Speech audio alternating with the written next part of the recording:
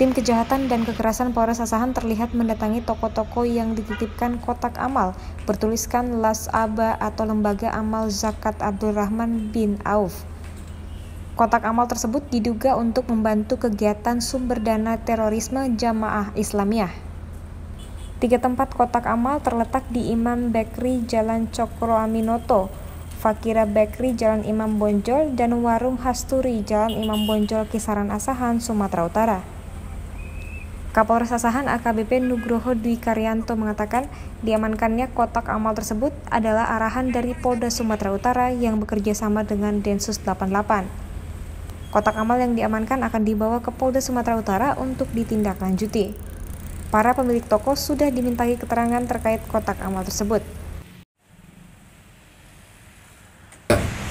Jajaran Satreskrim Polres Asahan bergabung dengan anggota Densus telah melakukan penyitaan dan kemudian diamankan terhadap e, kotak infak Lasaba yang ada di beberapa titik tersebar di toko maupun warung di wilayah Kabupaten Asahan.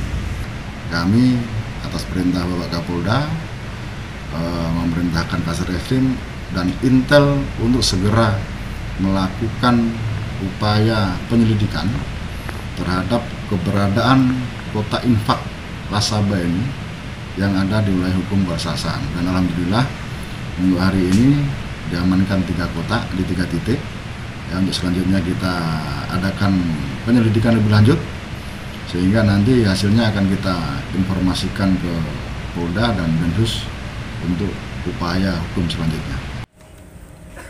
Dari Asahan Sumatera Utara, Yudi Paneh melaporkan.